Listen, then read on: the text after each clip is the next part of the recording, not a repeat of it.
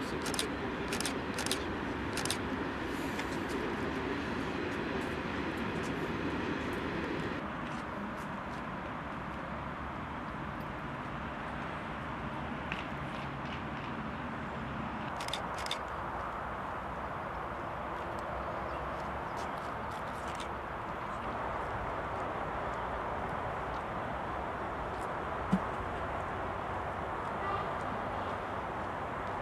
Belediyemiz görüyorsunuz çalışıyor. Hizmetini veriyor. 7-24 hizmetini veriyor. Lakin kendini bilmez sarhoşlar burada geceleri içiyorlar. Ee, zabıtamız ne kadar önlem alsa da bazen önlem alamıyor. Görüyorsunuz bunların hepsi kırılıyor. Yani ne diyeyim ki Ramazan ayında Allah'ından olsunlar. Tabii ki üzülüyoruz arkadaşlar. Ya sonuç itibariyle bunların hepsi yapmak çok zor. Ama bozmak o kadar kolay ki.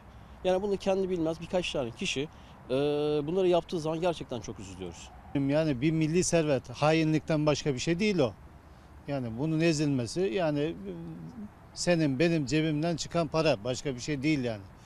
Bir milli servet yani yapılmaması gereken bir şey ama maalesef yapıyorlar.